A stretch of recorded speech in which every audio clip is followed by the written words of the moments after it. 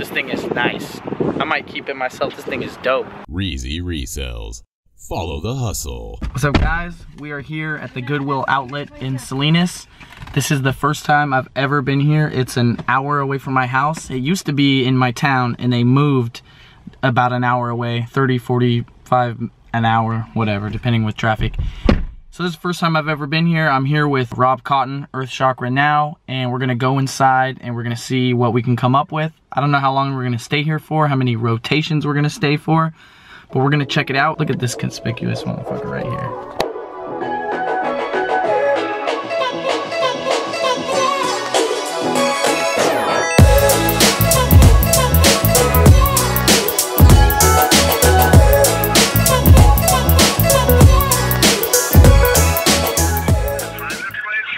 Yeah, we found it. Where are you? Yo. Did you guys find this place? Yes, we did. We are here waiting for you. Where is it? Is it by? Where's? It's by a Walmart. What's up, guys? We are here on a lunch break out of the bins. Surprise, we're eating some pizza.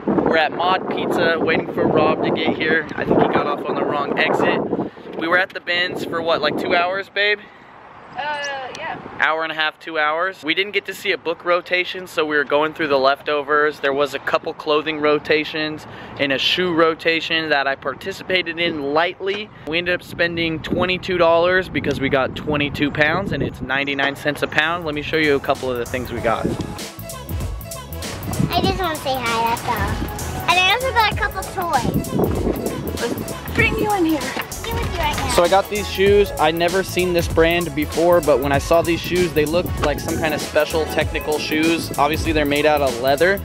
And I figured these weren't regular type of shoes for people to wear. And I looked it up and lo and behold, these are pretty expensive brand new and should go for about 40 bucks used. So that's a decent little used shoe score. Rosa found this vintage caboodle, all pink vintage caboodle. That falls into the category of things you wish you had when you were a kid. Oh, yeah. Like, I want to keep it still, but I don't need it. It's in decent condition too. We don't even know what this one will go for. I'm assuming at least 20 bucks. Yeah, at least it still works. Yeah, it's not broken. not. Everything's there. The mirror is not busted. Nothing little spit can't shine. I grabbed this retro phone. It looks like a rotary phone, but it's just a push dial. It's a reproduction. This is gonna go for about 20, 25, maybe 30 bucks. It's a little heavy though, so we'll see what we can do on this. I might lose on some of these, but at least I'm gonna learn. Little bee hand puppet. That's gonna go for 15, and it's gonna cost next to nothing to ship. Fear and Loathing in Las Vegas box set, special edition DVD. That's gonna make like 10 bucks. Rivals of Catan board game. This is gonna go for about 30 used, has a decent ranking in toys. And I did count all the cards, they're all there. Found a London Underground patch, brand new. This is gonna be personal, we're gonna keep, but I thought this was really funny because we were just in London. Brown trimline style telephone. If you guys don't know about older telephones, they're all worth money, older telephones. These heavy, this is a trimline style. This is not actually a trimline phone, this is a Pactel, which I'm sure is a phone company that's out of business now. But it's not white, so even the white ones are worth money. The other colors are worth even more. This is brown. I don't think I've seen a brown one before. These buttons light up like green, so you can see the numbers you're dialing at night. They're just, it's a pretty desirable phone. They last forever. You can mount it on the wall. That's gonna go for at least 20 bucks. Got this faux red leather Obey jacket.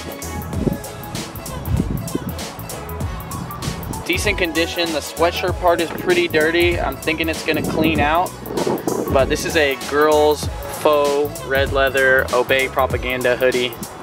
Should go for around 25 bucks, including shipping, maybe a little more. Cabin Creek brand, pink on the inside, purple and teal with the triangle patches. This thing is dynamite right here. This is a Superfly purple and teal and pink jacket from the late 80s. Superfly, this should go for at least 25 bucks. This thing is nice. I might keep it myself, this thing is dope. This is a solid find, Sony Discman. This is gonna go for 30 bucks as long as it works. I haven't got a chance to test it yet, but it's very clean.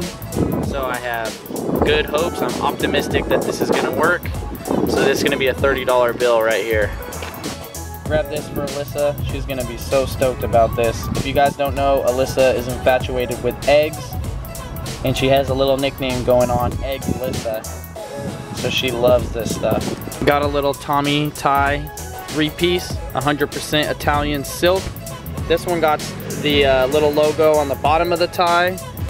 Some decent prints, but, uh, and I don't even know if these are gonna be worth that much. They didn't weigh hardly anything, so I figured it was worth taking a gamble on and learning. But they do got the block logo on the back.